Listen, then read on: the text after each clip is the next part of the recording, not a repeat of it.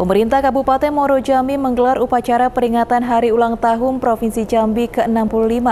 Dalam upacara yang dipimpin oleh Wakil Bupati Bambang Bayu Suseno, pemerintah Kabupaten Muaro Jambi sangat berterima kasih kepada pemerintah Provinsi Jambi yang telah membantu perbaikan ruas jalan Kumpe Suakandis. Bertempat di lapangan Bukit Cinto Kenang kantor Bupati Moro Jambi, pemerintah Kabupaten Moro Jambi menggelar upacara dalam rangka HUT Provinsi Jambi ke-65. Upacara ini dipimpin langsung oleh Wakil Bupati Moro Jambi Bambang Bayu Suseno.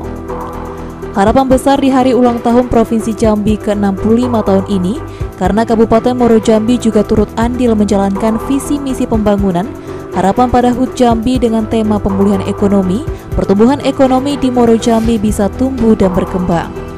Upacara peringatan HUT Provinsi Jambi dipimpin oleh Wakil Bupati Moro Jambi Bambang Bayu Suseno. Dalam sambutannya, Wakil Bupati Moro Jambi Bambang Bayu Suseno mewakili semua masyarakat Moro Jambi sangat berterima kasih kepada pemerintah provinsi sudah menganggarkan perbaikan jalan di daerah Kumpe Suwak Kadis dengan anggaran 300 miliar rupiah. Menurut Bambang, pembangunan infrastruktur ini sangat dibutuhkan masyarakat untuk memudahkan mobilitas serta diharapkan dapat memacu pertumbuhan ekonomi di kawasan Muaro Jambi. Karena Kabupaten Muaro Jambi bagian dari Provinsi Jambi dapat bersinergi dalam membangun Jambi. Selanjutnya, Salawat ring salam semoga tercurahkan kepada junjungan kita Nabi besar Muhammad Sallallahu Alaihi Wasallam Nabi akhir zaman semoga kita semua mendapat syafaat beliau di hari penghisapan kelak.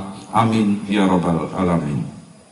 Bapak Ibu saudara saudari hadirin yang saya hormati.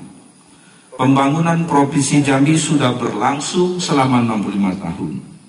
Kita bersyukur atas perjalanan pembangunan Provinsi Jambi ini. Di dalam pelaksanaan pembangunan Provinsi Jambi, Pemprov Jambi bekerja sama dan bekerja sinergis dengan semua pihak terkait, yakni dengan pemerintah pusat, pemerintah kabupaten dan kota, Forkopimda Provinsi Jambi, Forkopimda Kabupaten dan Kota Seprovinsi Jambi, BUMN, BUMD, swasta, masyarakat, serta semua pemangku kepentingan. Dovia Putri Sanjaya, Cek TV, melaporkan.